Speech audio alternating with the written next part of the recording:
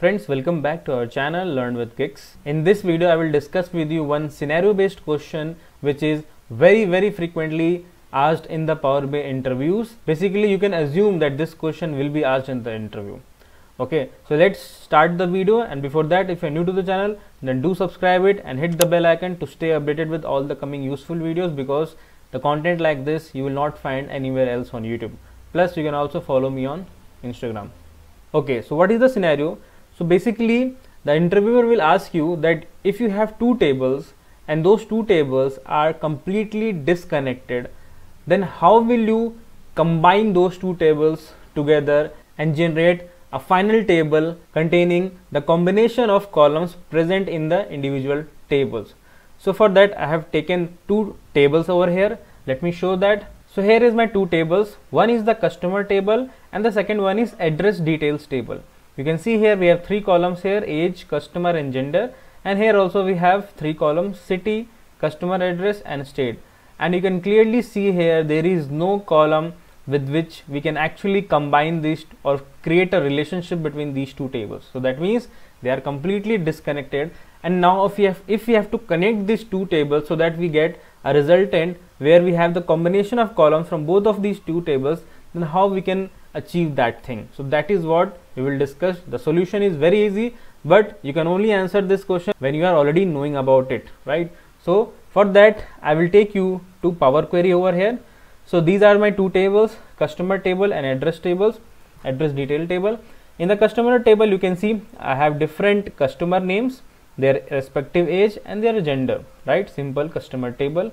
And in the address details table we have their random um, customer address then their respective city where they live and their respective state in india. Okay. So now if we have to combine these two tables what we will do? I will go first to the customer table go to the add column tab over, over here and in the you have to click here index column. So index column I want to start it from 1 so one column will be generated which is index column and it will give us all the unique values in all the records that are present over here. So six records are there. So individually it has assigned 1 2 3 4 5 6 as you can see over here. So each record now has unique index value right in this particular table. The next thing is the address details okay. In the address details again you need to do the same thing that we have done for the customer table okay. And why we are doing this? Through index column i will let you know in couple of seconds. So again i will click over here and choose from one. Again one column is generated which is index column and we have unique values for all the records which from 1 to 6 this is what we will do first. This is the first step.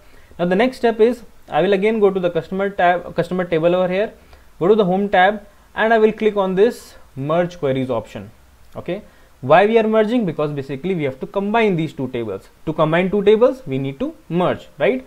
So i will select my the sec uh, my second table i will select my common column and you can see we have the common values matching in both the tables right? Because we have created those individually for all the records in both the tables right? I will choose here uh, inner join. That means all the matching records from both the tables. Here we have identical so we will get the exact records that we are looking for. Now i will click over here. You can clear, uh, you can see over here it is it is telling selection matches 6 out of 6 records. Okay so click on ok here. Again now I will uncheck this original and I will select only those columns that I want in my this in my in this table. Click on ok. I wanted these three columns. That means customer address city and state. So for my cust first customer that is Shashank I now have the complete details of this customer. You can see here clearly. Now you must be wondering why we chose this uh, this way of creating one index column right? So this was the second step and now you can see we have finally combined the two tables.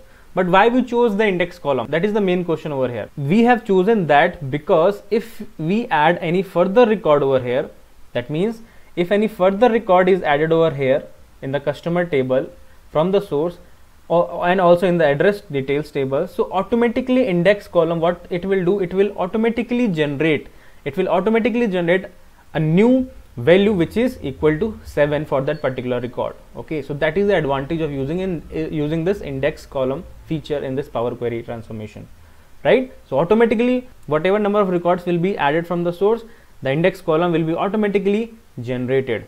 Okay you can say this is a kind of surrogate key. You would have heard this term in sql this is a kind of surrogate key. That means a pseudo key which is not actually present but we are creating that.